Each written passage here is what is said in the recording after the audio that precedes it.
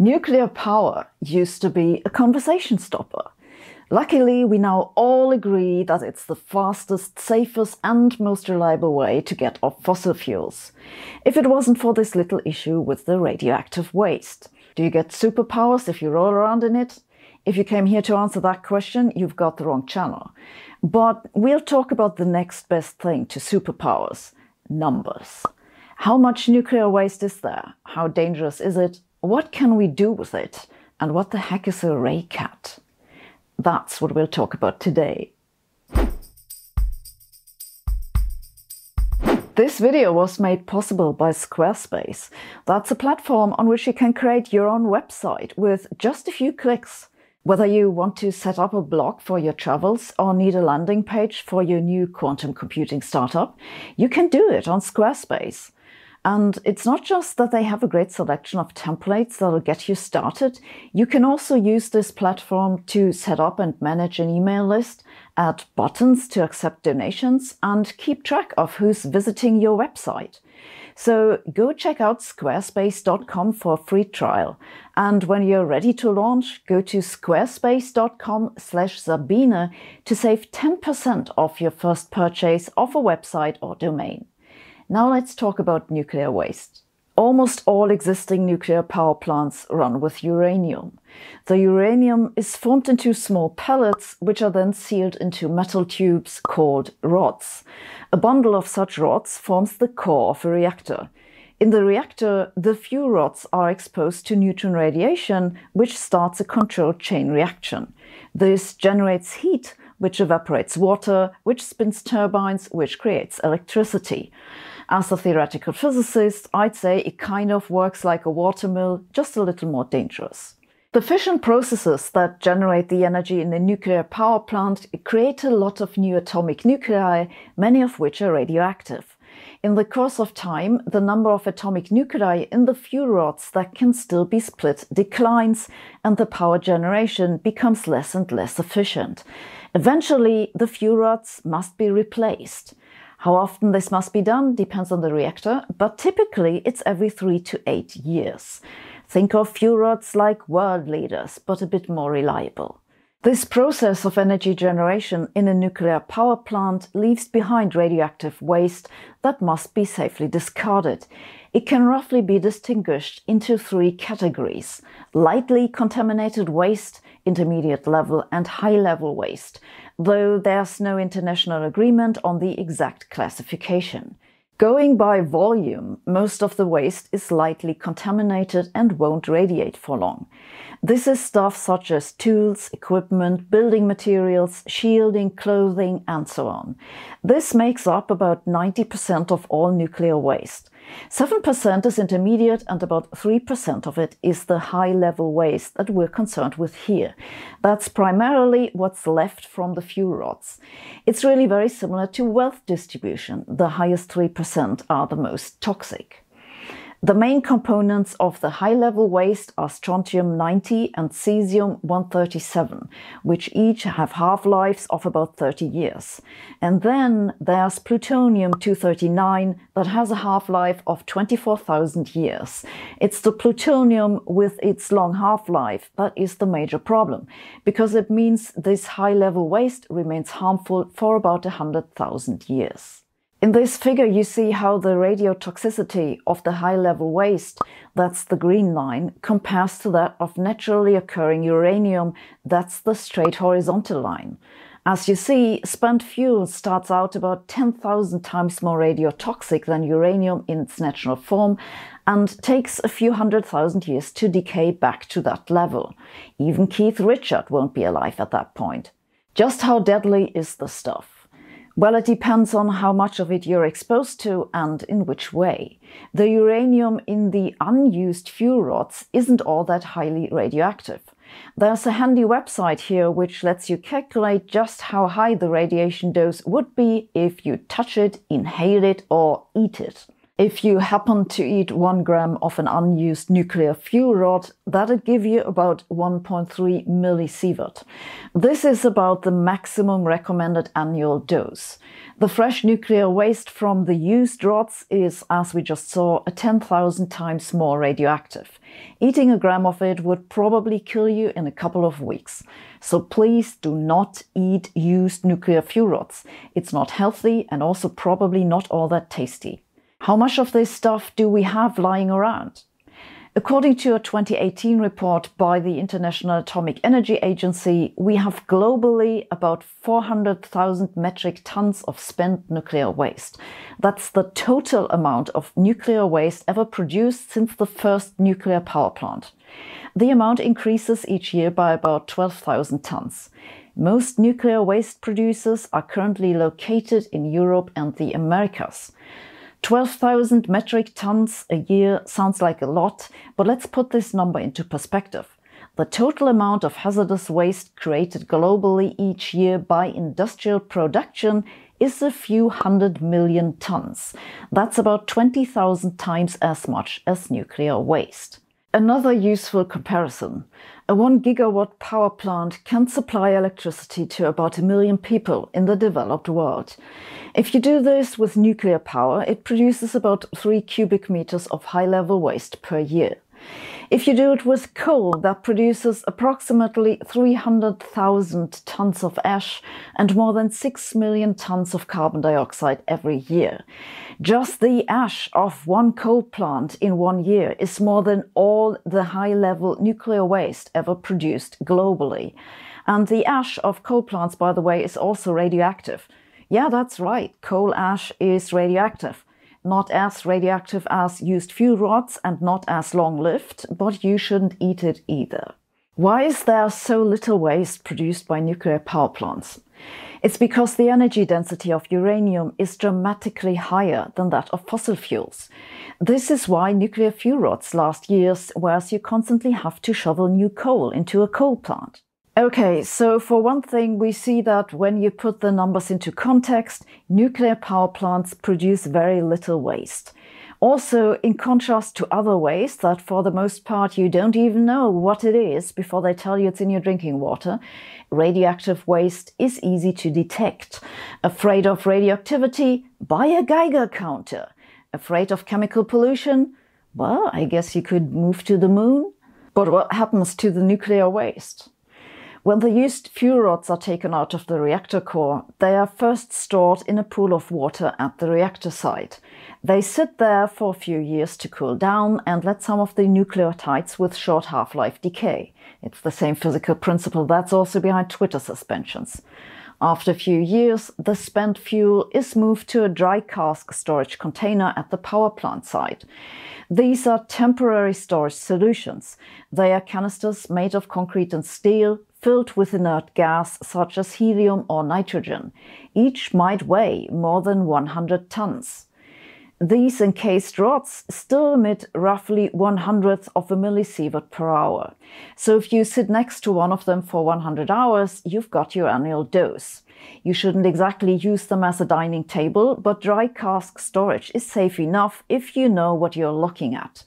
The problem is keeping an eye on those things for a hundred thousand years. Of the near 400,000 tons of existing spent fuel, 47% are currently in the cooling pools, that's called wet storage, 20% are in the canisters, that's called dry storage, and the remaining 33% have been reprocessed, more on that later. This highly radioactive waste has to be transported sometimes, for which there are special containers and train carriages. In a 1984 test, a train was crashed into one of these containers filled with non-radioactive stuff at over 100 miles per hour. It was quite a scene. After the crash, the pressure inside the container was almost unchanged from before the collision. If the test containers had actually held nuclear waste, nothing would have happened to it, but everyone on the train would have been dead. The small nuclear reactors, by the way, that are currently rather fashionable and that we talked about in this earlier video, create more waste per energy. According to a recent study from researchers at Stanford University, the currently planned small modular reactors will increase the total volume of nuclear waste by a factor of 2 to 30, depending on design. Most of this is lower intermediate level waste coming from the need of more construction material per fuel. They also found that the high level waste that those small reactors create is more radiotoxic than that of conventional nuclear power plants because the smaller size leads to somewhat different fission reactions. Okay, so we can seal the stuff up in concrete and move it around, but what do we do with it eventually? We could shoot it into space, but given that every once in a while a rocket blows up in the atmosphere or falls back down, it may not be such a great idea. It also wouldn't be fair to aliens. I mean, suppose a spaceship comes by our solar system and everyone is very excited, but it turns out to be nuclear waste, That'd be really disappointing. We don't want to disappoint aliens, do we? So we keep the stuff down here. But where? At the moment, no long-term storage facility exists. It's a difficult task because it'll have to survive independent of human maintenance for hundreds of thousands of years. The best storage solution for nuclear waste that engineers have come up with is geological repositories. They're caves, basically, located inside stable geological formations that are expected to remain stable for at least a few millions of years. In the 1980s, the USA tried to create the first such facility at Yucca Mountain in Nevada. It was supposed to open in 1998, but it didn't work out as planned. To this day, nothing's been stored there. That's partly due to government hang-ups on safe radiation levels, but mostly because it turned out people don't like having nuclear waste in their vicinity. Finland is currently building the world's first deep geological repository. It's scheduled to be opened next year. The Onkalo spent nuclear fuel repository is located near a nuclear power plant on the west coast of Finland. It's basically a lot of tunnels, about 400 meters under the ground. In them, thousands of corrosion-resistant copper canisters will be buried and the holes will be plugged with bentonite, which is a water-absorbing clay. Each tunnel will then be filled with more bentonite and sealed with concrete. The Finns have created a computer model of the whole tunnel network to forecast how groundwater will move through cracks and fractures and the effects that this may have on people living on the surface. There's really a lot of planning and engineering that went into this. It's not like they just dump the stuff in a cave, lock the door and go away. People often ask me, but would you want to live near a nuclear waste site? Guys, I've grown up next to chemical industry. I made an internship in the chemical industry. Today, I live near the largest chemical production site in the world. Every once in a while, something blows up there and we're all asked to close the windows and pray that the shit dilutes quickly. If I had to pick one of the two, I'd pick nuclear waste storage any time. But most people don't like to have plutonium in their backyard, and I have some understanding for that. So how do we keep the stuff locked up safely for 100,000 years? That's quite a challenge. Even written language has only existed for about 5,500 years. God knows what language people will read in 100,000 years, if they're still people and they still read. This question was studied in 1981 by the Human Interference Task Force that was commissioned by the US Department of Energy. Their task was to find a way to warn people of the future of the nuclear waste that was planned to be deposited at Yucca Mountain. It was a team of engineers, anthropologists, nuclear physicists, behavioral scientists, philosophers, and semioticians. That's folks who study science. They came up with some general rules, including that whatever the warning message, it should be read top to bottom and should repeat the message in several different ways, so basically like a storybook for children. The semiotician Thomas Sebeok had the idea that if the site can be rendered repulsively malodorous for a lengthy period, that'd be at least provisionally a deterrent against casual exploration. He proposed creating a mythology where the actual truth would be entrusted exclusively to an atomic priesthood and other people are told scary stories. And these weren't even the craziest ideas. A book from 1984 collected contributions from scientists who suggested, among other things, that the exact location of the waste be forgotten and instead only information about the existence of nuclear waste repositories and about methods of measuring radiation be preserved. Others propose that animals can be bred that will react with discoloration of the skin when exposed.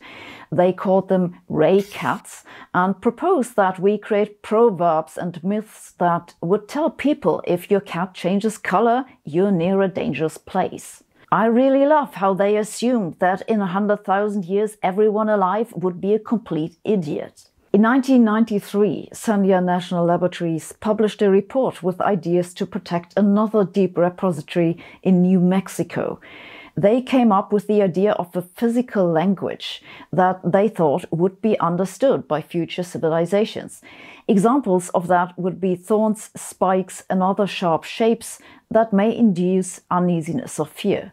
They also proposed to draw human faces expressing horror, though the future people might think it's an early Munch.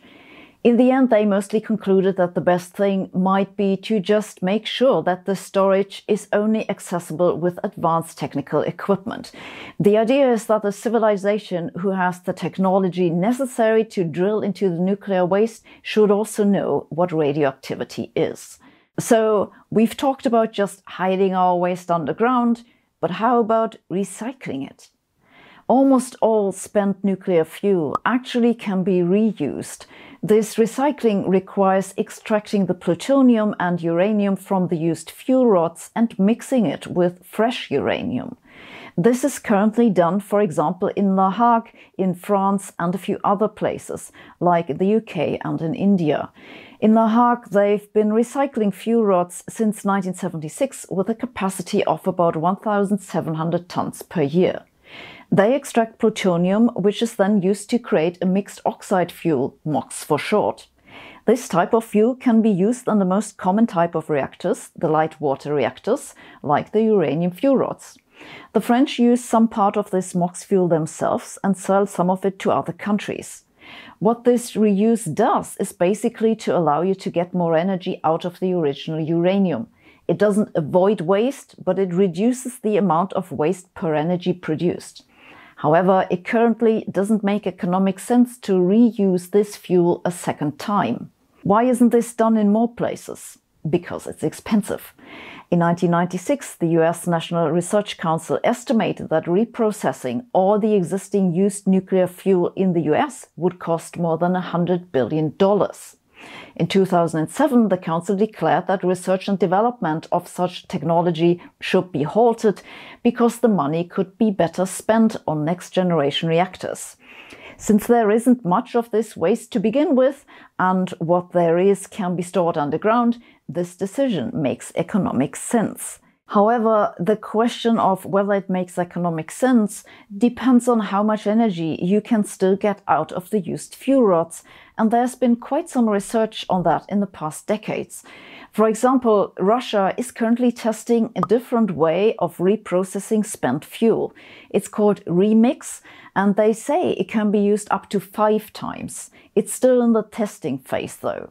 Another way to reduce nuclear waste is to use a pressurized heavy water reactor.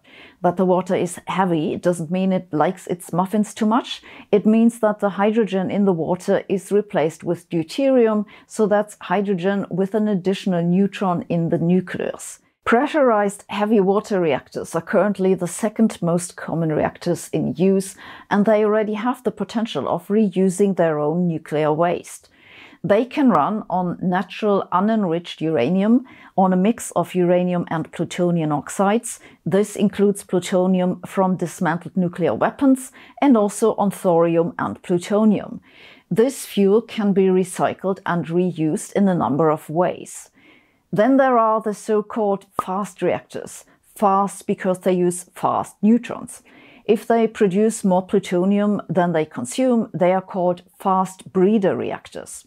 The good thing about fast reactors is that they destroy the nuclear waste with the longest half-life. Most of the remaining waste decays to harmless in a few centuries rather than hundreds of millennia.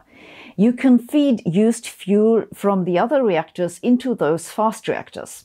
This isn't new technology, but it hasn't been used as much as it could have been. Canada is currently building two of those fast reactors. There are many ways to reuse, reprocess, and cycle around radioactive stuff from one power plant to another. The whole topic gets very confusing very quickly, and I know you didn't come here for a two hour lecture. Let me therefore just show you a summary figure from a report to which I leave you a link in the info below. This is the amount of conditioned high-level waste in cubic meters per terawatt hour of created energy. That it's conditioned means it's been prepared for disposal. The most common type of running nuclear fission plants is presently scenario 1A. Scenario 1B is one with one round of recycling. The scenario 1D is if you take the spent fuel from the most common light water reactors and stuff it into a heavy water reactor. The ones on the right are various advanced nuclear fuel cycles that are possible with current technology but are not presently used. The bottom line is that we could significantly reduce the amount of nuclear waste if we'd use some of the modern technology and final deposit sites are under development. Personally, I think that the whole topic of nuclear waste is totally overblown. Burying the stuff underground seems a perfectly fine solution to me. There are good reasons to object to nuclear power, and I went through those in my earlier video, but nuclear waste isn't one of them. If you like science without the gobbledygook, we have a newsletter that you can subscribe to on my website, sabinehossenfelder.com slash newsletter.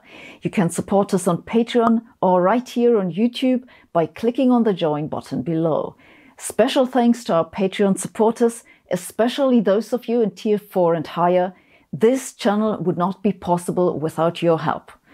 We now also have a gift store with posters and mugs and t-shirts. Go check it out. Every little bit helps. Thanks for watching. See you next week.